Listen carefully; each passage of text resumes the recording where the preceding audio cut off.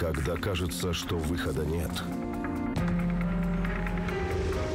И любой шаг приближает к пропасти. Решение есть. Но какую цену придется заплатить за самый сложный выбор в жизни? Только правдивые истории людей, которые оказались на грани. К сожалению, без анализов мы не сможем госпитализировать вашего мальчика. Очередь на обследование расписана на, месяц вперед. Мы специально приехали. У сына срочные показания к операции. Ничем не могу вам помочь. Мамочка, езжайте в диагностический центр. Тут три остановки. Вы цены их видели? Согласен. Зато пару дней и мы возьмем мальчика на стол. Спасибо, но у нас нет таких денег. Увы, не могу вам ничем помочь.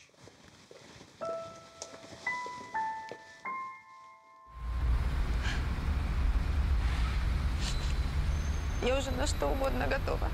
Только бы найти деньги на это обследование. Ма, у тебя тоже потекла. Ой, сейчас вытру. Черт, пудреницу дома забыла.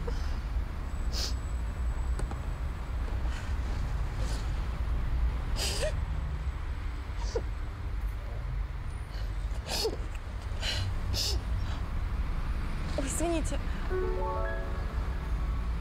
Инга, Саша. Встреча. Слушай, ты как? Как жизнь вообще? Ты здесь живешь? Нормально. Мы тут недалеко, в области. Ну, ты знаешь, работаю парикмахером. Сын учится. Замужем? Разведена. Кстати, познакомьтесь, это мой сын Влад. А это Александр. Мы вместе учились. Привет.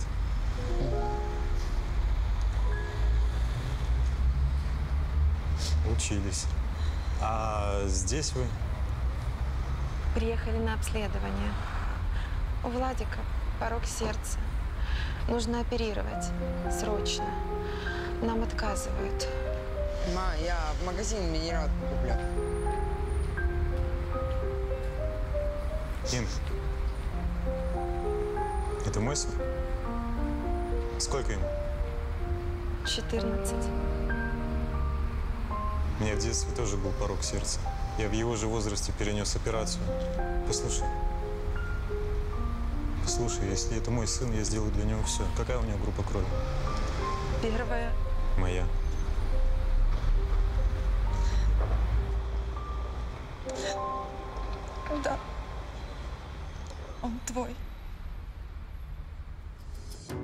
Александр не виделись со студенческих лет. Когда-то их бурный роман обсуждал весь факультет. Всем казалось, что их отношения непременно закончатся свадьбой. Но Александр внезапно перевелся на учебу в другой город, а Инга скоро и вовсе бросила институт. Бывшие влюбленные, конечно, как-то представляли себе эту встречу, но разговор сразу пошел не так, как они могли предположить. Почему Александр за все годы не поинтересовался ее судьбой? И как случилось, что никто из общих знакомых не рассказал ему о том, что у него есть сын? Александр понял, что Инге нет денег на лечение сына и сразу предложил ехать в дорогую кардиологическую клинику.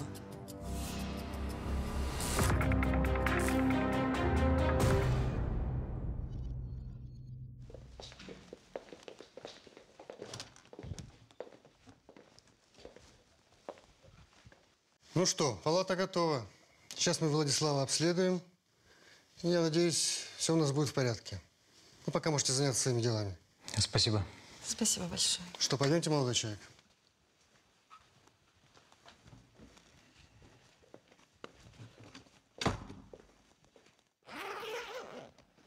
Свалились мы тебе, как снег на голову.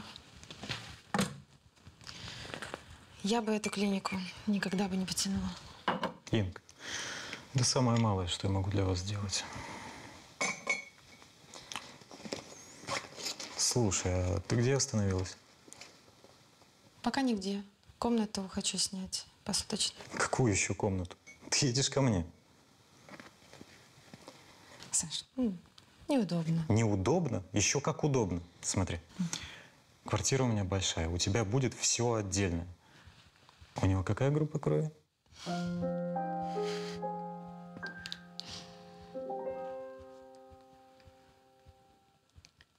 Все-таки глупо как-то мы расстались.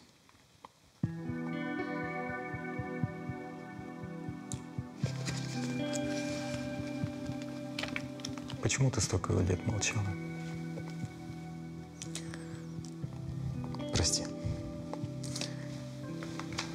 Для меня это действительно неожиданно. Страшно подумать. 14 лет.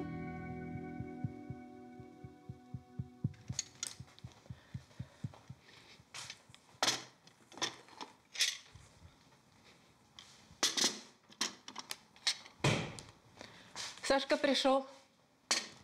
Привет, пап.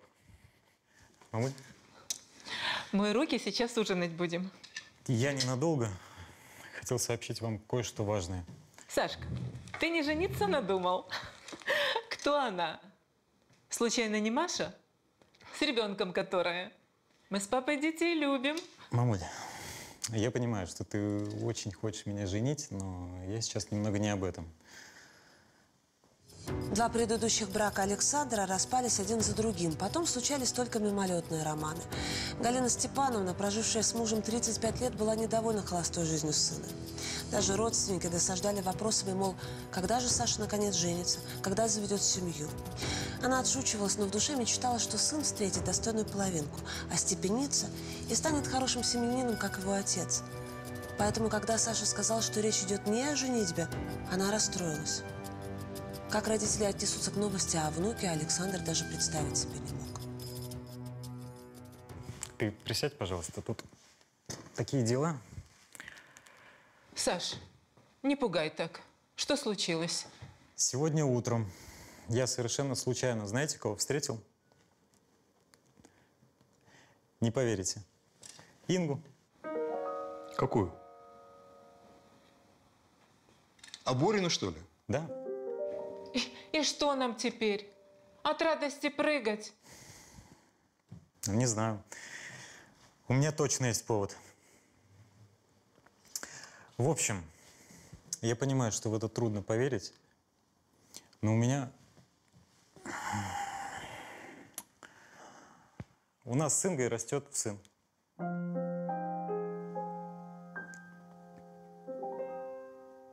Саш, ты шутишь? Ты в своем уме? Мам, Какой сын? Ты, ты хоть сам видел этого сына? мам, успокойся, пожалуйста. Сейчас я тебе все расскажу.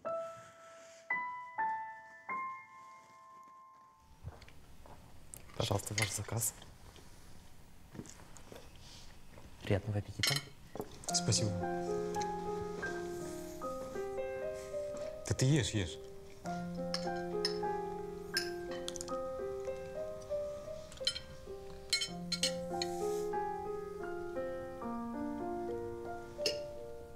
Владик, я тебе никогда об этом не говорила. Вернее, я говорила тебе, что мы с твоим отцом развелись, что он уехал и не вернулся. Но это не так. Я твой отец. Так вышло, Пат. Ну, это я уже понял. Если бы я знал. Влад, я обещаю. Я все наверстаю. И если ты хочешь, называй меня папой. Если честно, я всегда мечтал об отце. И примерно так и представлял нашу с тобой встречу.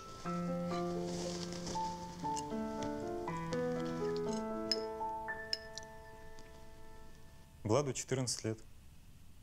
Так я и знала. Что знал?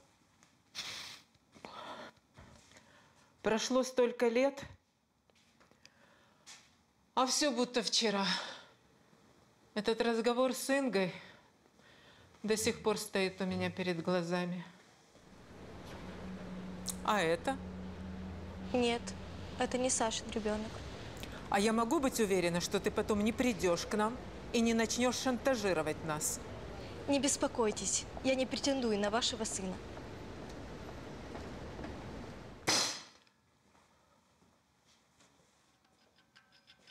Столько лет молчала. Я не хотела расстраивать тебя. Если бы я их не встретил, Но кто ж знал, что ты потом заболеешь? Я думала, у тебя еще будут дети.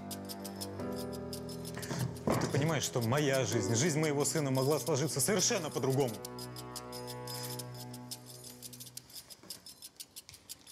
Разрешите поздравить? Это же чудо, чудо такое. С таким-то диагнозом. Теперь нечего спорить. Надо внука на ноги ставить. Образование ему дать. Да, Галя? После расставания с Ингой Александр поехал с друзьями на море. Там заболел. Болезнь дала необратимое осложнение. В результате бесплодие, без шансов. Александр знал, что никогда не сможет иметь детей, и для него это была трагедия. Родители и друзья успокаивали. Ну, сколько людей усыновляют. Можно найти надежную спутницу жизни, и даже приемный ребенок будет родным. Он соглашался, но думал иначе. Поэтому известие о сыне было для него настоящим подарком из прошлого. И все силы, всю свою отцовскую любовь он направил на спасение больного мальчика. Его поддержали родители. У них появился родной внук. Ну что, прогноз в целом благоприятный. Послезавтра Влада прооперируем. Если вопросов ко мне нет, я вас тогда оставлю. Меня ждут пациенты. Большое спасибо вам, доктор. Большое за нашего мальчика. Спасибо огромное. А ты, я смотрю, уже разобрался с нашими подарками. Как планшет? Офигенная штука. Как ракета летает. Телефон вообще бомба. Друзья обзавидуются. Я там тебе дома еще подарок приготовил. Квадрокоптер. Как только тебе выпишут, сразу пойдем запускать.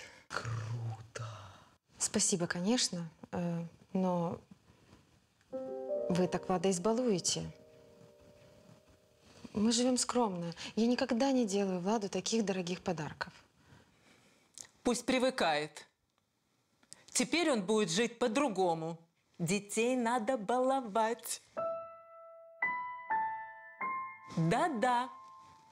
И ни в коем случае нельзя их лишать детства. Старые обиды между Ингой и мамой Александра за 14 лет никуда не ушли. И отношение к подростку только подогревало их взаимную антипатию. Бабушка хотела завалить внука подарками, тем самым подчеркивая, что их семья может дать мальчику гораздо больше, чем мама.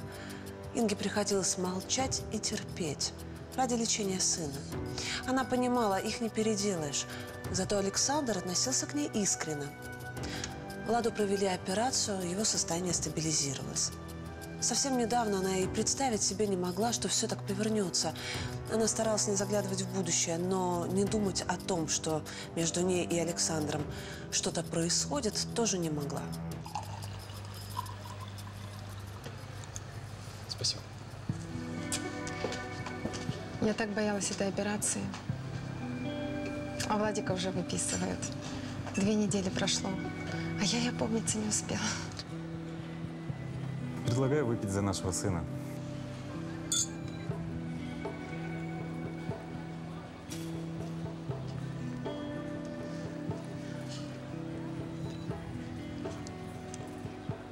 Не смотри на меня так. А я буду смотреть. Потому что насмотреться не могу. Я же все эти дни только о тебе и думаю. О тебе, о Владе. Сегодня совещание отменил. Сидел, вспоминал. Ты знаешь, я же никого, кроме тебя, так и не любил. Скажи честно, у тебя есть кто-нибудь? Владик часто болел. Мне было не до личной жизни. Можно сказать, что любимым мужчиной все это время был только он. Ну, хотя бы иногда ты вспоминала обо мне. Когда ты уехал, я думала, я умру. Жить не хотелось. Ты предал меня, понимаешь?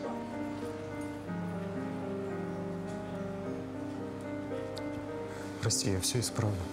Клянусь. Мы с тобой поженимся. Я усыновлю Владьку. Будет у нас с тобой образцовая семья. Я тороплюсь, да? Прости, просто боюсь снова тебя потерять.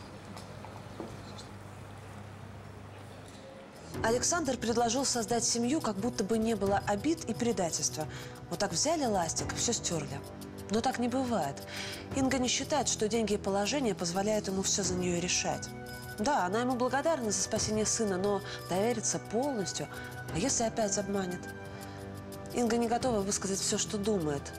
Эта реакция понятнее, чем оптимизм Александра. Почему он так уверен, что все получится? У Инги такой уверенности нет. Спокойной ночи. Ин, подожди.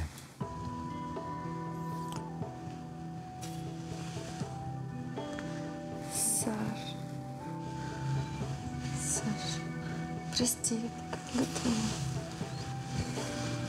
Саш.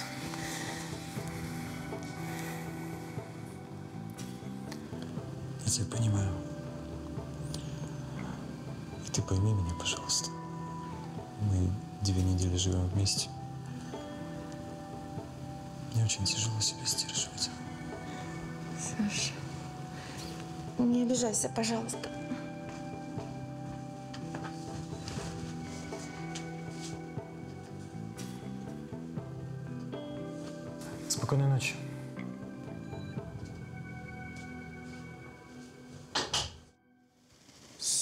Можешь опускать.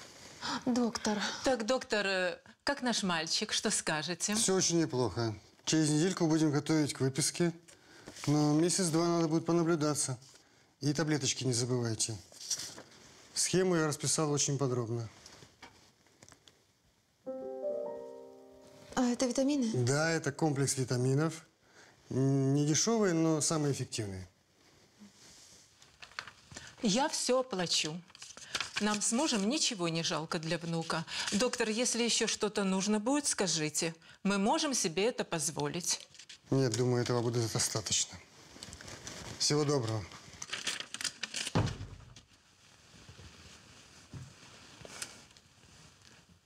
Ой, ну вылет ты, Шурик.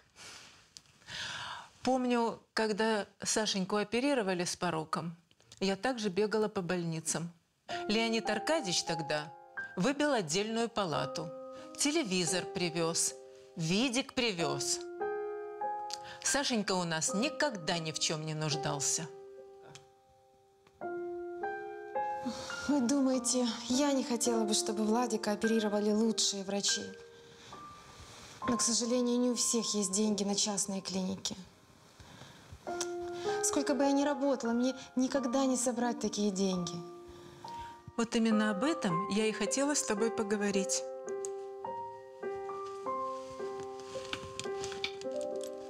Так, котик, отдыхай, а мы с мамой пойдем. Ты никуда не торопишься? Нет. Так, может, по чашечке кофе? Пошли.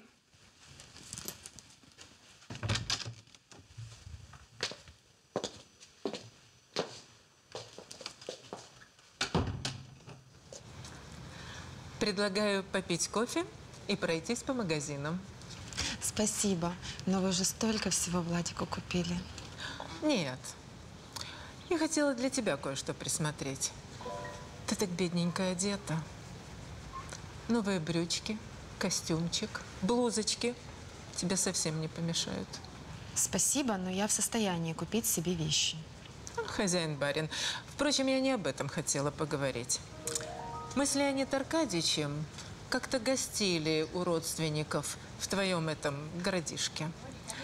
Он произвел на меня тягостное впечатление. Дома сплошь серые, ни магазинов, ни супермаркетов. Медицина, по-моему, совсем отсутствует. И на весь городок всего две школы. Вы хорошо осведомлены. Владику там не место. Мальчику нужно хорошее образование. У нас здесь лицеи, гимназии, частные школы. Мы с Леонидом Аркадьевичем полностью посвятим себя внуку. Леня будет на машине его везде возить. Репетиторы, бассейны, лучшие доктора, лекарства. продукты, все для него. Понятно. А какая роль отводится мне?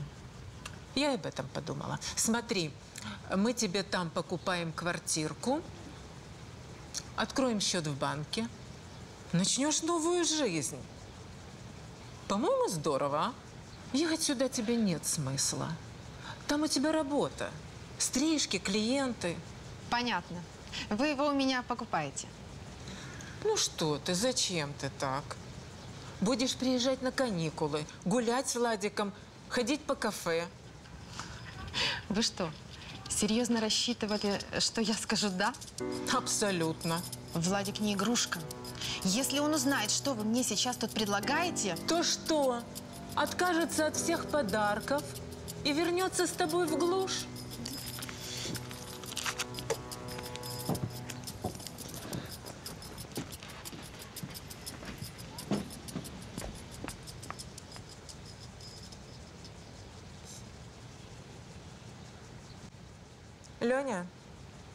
Что?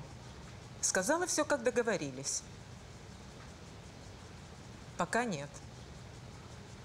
Да куда она от нас денется? Могут ли комфортные условия заменить маму?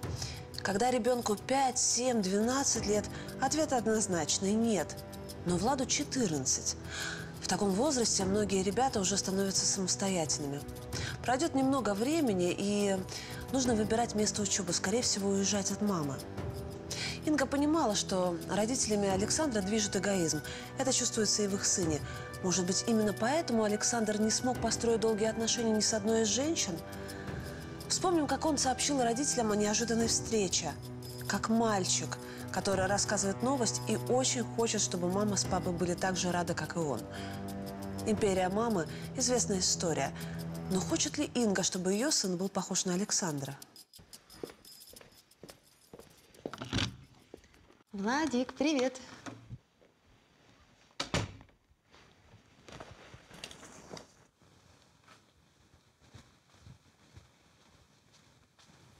О, а я думал, что ты вечером придешь. Что ты случилось? Хотела поговорить. А, ты, наверное, про то, чтобы я с бабушкой и с дедушкой жил. Вы же это обсуждали? А откуда ты знаешь? Они что, с тобой разговаривали? Ну да, И что ты ответил? согласился. А что? 14-летнему сыну Инги требуется срочная операция, денег на которую у одинокой мамы просто нет. Случайно она встречает Александра, с которым в студенческие годы у нее был роман. Бывший возлюбленный понимает, что ребенок Инги – его сын. Он оплачивает дорогостоящую операцию, всеми силами пытается помочь восстановить здоровье Владислава. Родители Александра с радостью принимают новость о взрослом внуке, задаривают его дорогими подарками и завоевывают расположение подростка.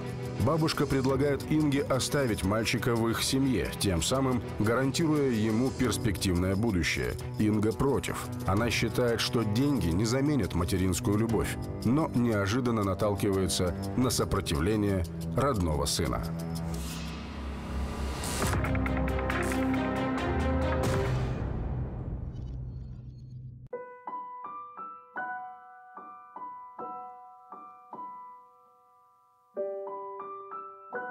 Купили они тебя со всеми потрохами. Ма, ты чего? Я же и мечтать о таком не мог. Чего плохого в том, что я буду учиться в лицее, а у тебя будет квартира с ремонтом? Владик, я против. Ты понял? Вообще-то, с 14 лет человек имеет право сам решать, где и с кем он хочет жить. Это кто тебе такое сказал? Неважно.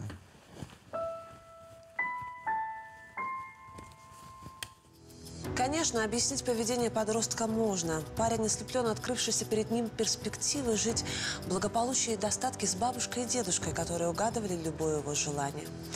Он себя считает взрослым, чтобы принимать решения. Но он еще не понимает, что такое предательство. Инга невольно сравнила. 15 лет назад Александр с такой же легкостью обрубил с ней всякие отношения. Она чувствовала себя ненужной тогда и сейчас. Поэтому решила, что пора всю правду рассказать Александру. Да нет, смотри. Все документы складываешь вот в эту папку. Угу. Владька, ну копия, Шурик. Мам, я открою.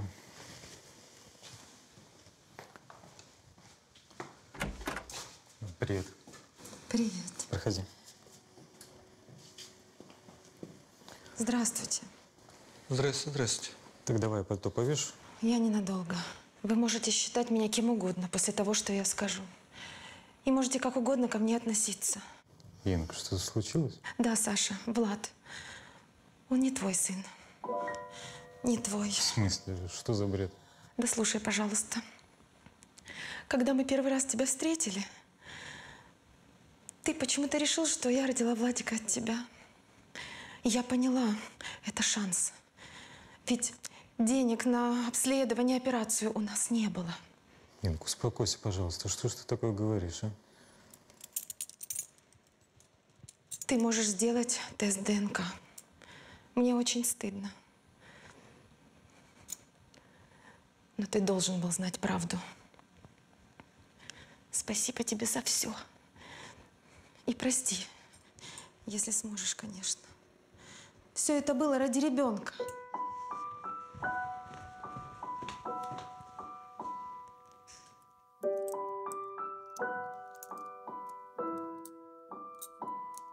Саш, врет она. Мы с папой хотели забрать Владика на воспитание. Ей это не понравилось. Вот она и придумала всю эту околесицу. Что? Ты что ей сказала? Ты с ума сошла? Меня кто-нибудь спросил? Какого черта ты опять лезешь не в свое дело? Не надо так с матерью! Ты знал? Знал? Понятно, что знал. Видеть вас не могу. Саш, ну прости нас.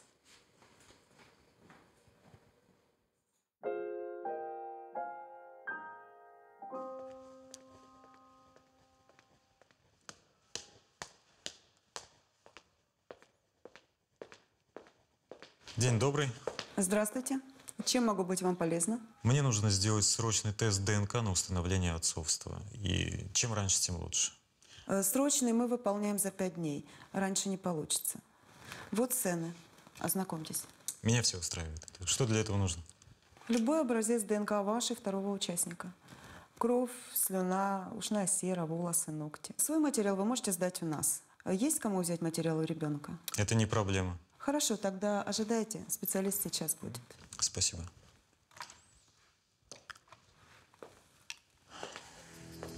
Александр испытывал двойственные чувства.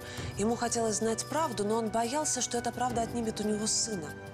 Александр постоянно твердил себе, что признание Инги – ложь, что это всего лишь способ отомстить его матери и увести сына. Через пять дней он получил результаты теста ДНК. Я до последнего надеялся, что Владик мой сын. Ты, наверное, меня ненавидишь. Так меня еще никто не кидал. Меня тоже. Ты меня бросил, забыл? Я поехал учиться. А ты сразу же закрутила с этим Романцовым. Нет, Мне мать все рассказала. не сразу. Ты перестал мне звонить. Потом сменил номер. Думаешь, я не знала? Про Дашу, про Карину. А с Романцовым я не крутила. Это было... Да мне плевать, что у вас там было.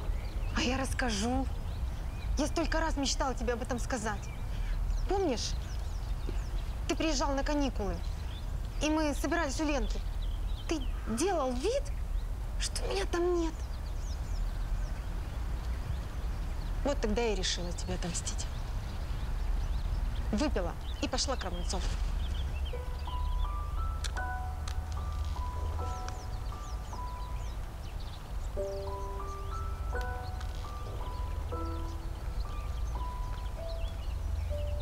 Так Так вот кто у нас папа Владика, да? А чего ж ты к нему не пошла за деньгами на операцию? Романцов. Романцов предложил мне сделать аборт. Сказал, что никогда не признает этого ребенка. А потом укатил за границу. Там и живет. Ты так говоришь, как будто я в этом виноват.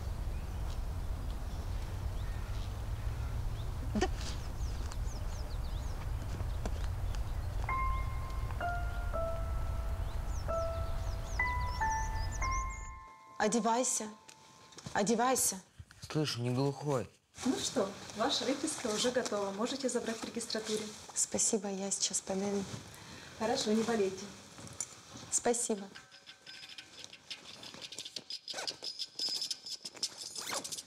Аферистка, я тебя засужу. Я видела тест ДНК. Владик не Сашин ребенок. Я вам об этом и говорила. И что ты думаешь? После всего этого тебе это так с рук сойдет? Я не могла допустить, чтобы с Владиком что-то случилось, понимаете? И не надо прикрываться ребенком. Цели, может быть, и были благородные, но деньги, как миленькая, вернешь. У нас хорошие адвокаты. Так ты... Так я не его сын. Ты соврала. Я тебя ненавижу! Владик!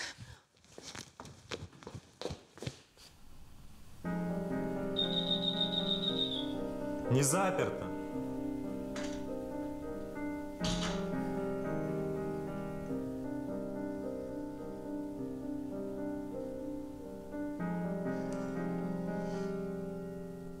Он сбежал. Я не могу его найти. Выбежал из клиники, и все.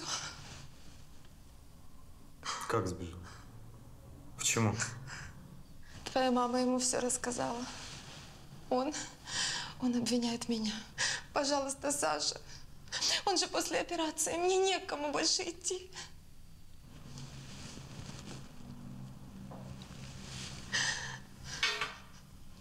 Ну, тихо, тихо, тихо. Успокойся. Ты в полиции была? Нет. Значит, поехали.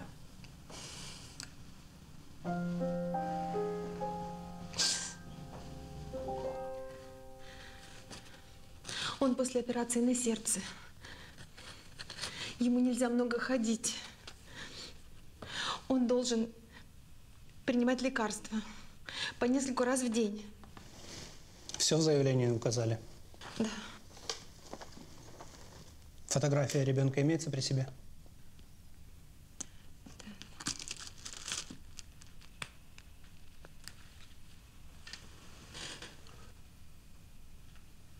Сын?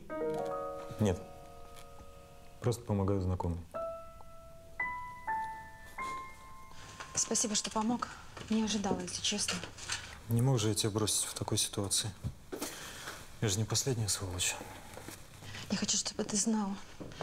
Тогда в ресторане я говорила правду. Жалко, что уже ничего не исправишь. Ты куда сейчас? Не знаю. Мы собирались уезжать. Ключи от комнаты я сдала. Поехали ко мне. Да ладно, давай, давай. Я же не брошу тебя сейчас одну на улице. К черту все, что случилось. Сейчас главное найти Владику.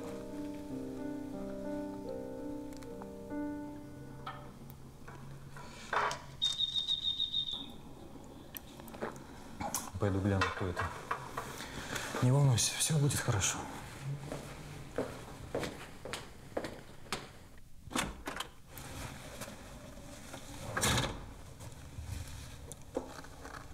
Привет. Принесла твой любимый пирог. Мам, ты позвонить могла? А что такое? У тебя там кто-то есть?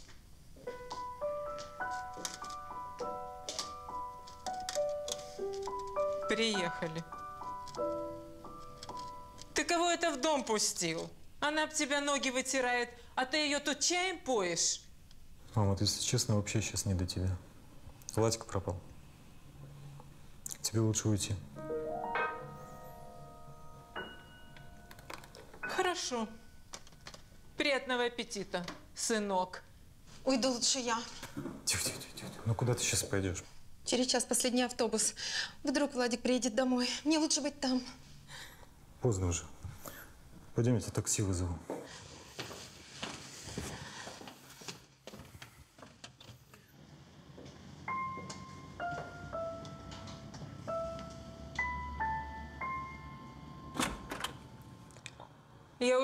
Не дождусь тебя.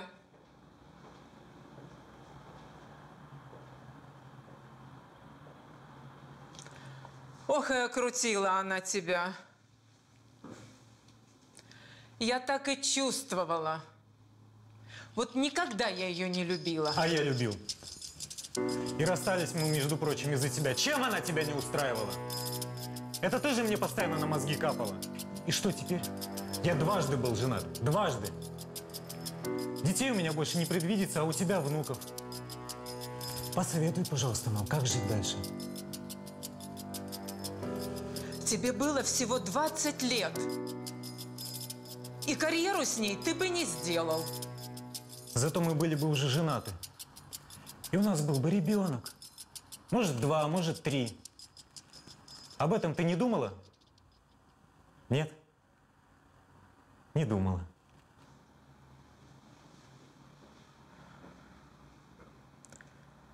Я все поняла. Это я во всем виновата. Не надо меня провожать. Спасибо, сынок.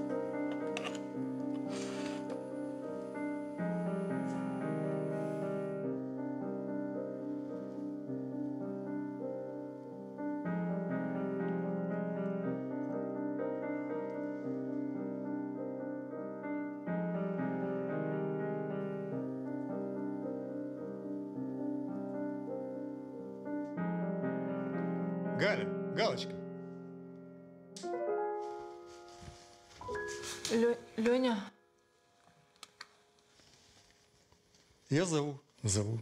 Что случилось? нет, я тут документы перебирала. Ставь чайник. Будем чай пить. Ну иди. Уже иду, Галочка.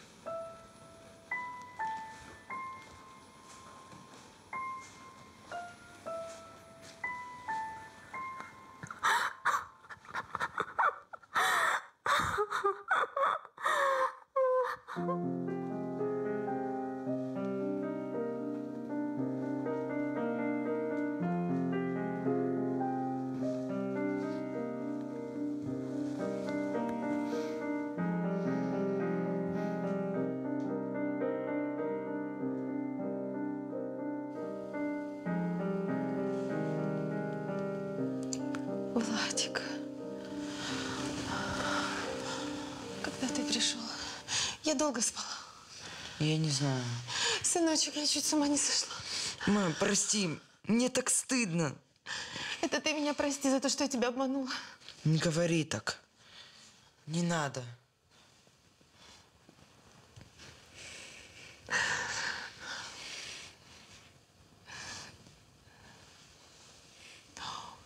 Тебе лекарство нужно выпить и чего-нибудь поесть. Доктор сказал, что нужно принимать лекарства перед едой. Пойдем, я тебя накормлю.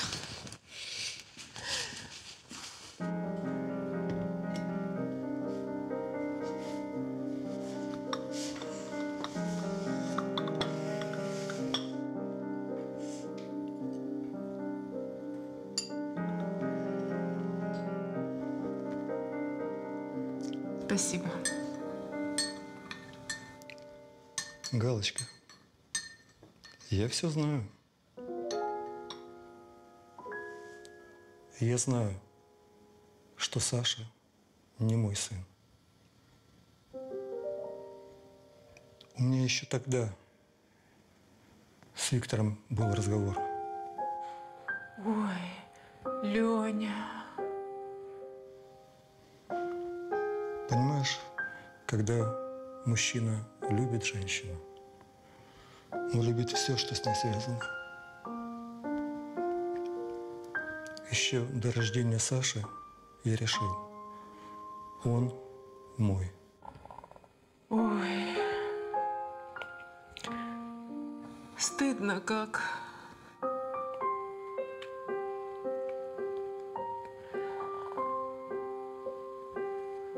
Ты, Саше, пожалуйста, только не говори.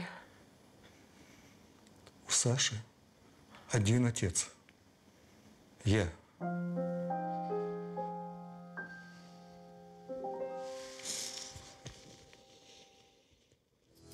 Галина Степановна привыкла все контролировать. А тут оказалось, что самый близкий человек, с которым она прожила 35 лет, совершенно не нуждается в ее контроле. Она всегда знала, что он надежный. Она просто была поражена. Этот мужчина десятилетиями сохранял ее тайну. Она от него прятала правду, а он знал и никогда не намекнул и не упрекнул. Как все-таки важно иметь рядом надежное плечо. Так почему же мама Александра не хочет, чтобы ее родной сын стал для любимой женщины самым надежным в мире человеком? Ей было непросто, но она поговорила с сыном.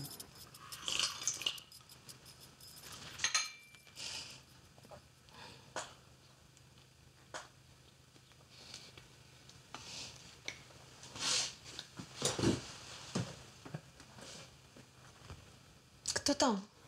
Александр. Зачем он сюда приехал? Понятия не имею. Ладно, я к себе пошел. Сами тут разбирайтесь.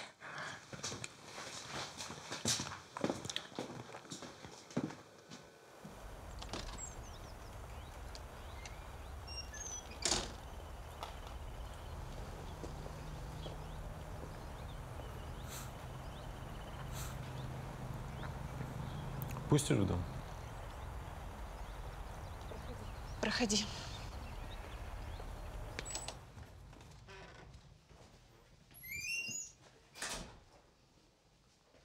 Чай будешь?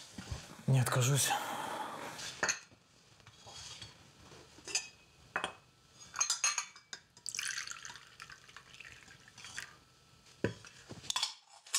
Инга, тебе не кажется, что мы совершаем ошибку? Кажется. Только я не знаю, как это исправить. Давай попробуем начать все сначала. А как же твоя мамочка? Не преувеличивай ее влияние на меня. У нее есть папа. А у меня есть ты. И Владька.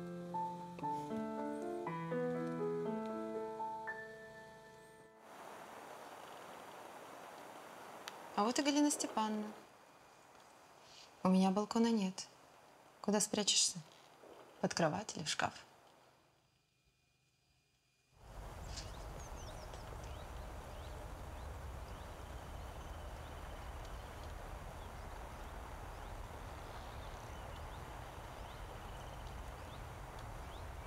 Зачем приехал?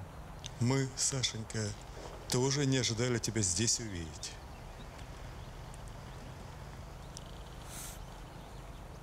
Так, давайте так, чтобы я долго не объяснял. Я собираюсь сделать Инге предложение, и ваше мнение меня не интересует. Что ты ищешь? Мам, давай без истерик, ладно? Побереги свои нервы. Так где этот чертов тест ДНК? Вот он, Гэг. Не нервничай.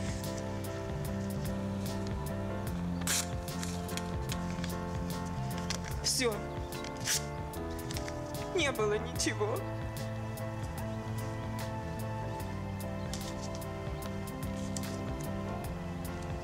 Инга, завтра с Сашей и Владиком ждем вас у себя в гости на даче.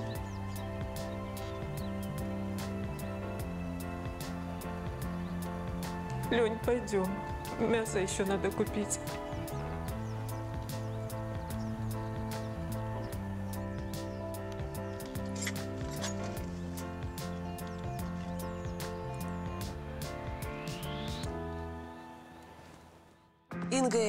Александр живут вместе и готовятся к свадьбе. Владик уже называет Александра папой. Галина Степановна и Леонид Аркач все свободное время посвящают внуку. Тема о кровном родстве в семье больше не поднимается. Отношения Галины Степановны и Инги далеки от идеальных. Их противоречия касаются в основном вопросов воспитания, отношений с мужем и кулинарии. Обиды 14-летней давности и последнего месяца не вспоминают. Понимают, что с таким трудом обретенный мир в семье может рухнуть от одного неправильного слова.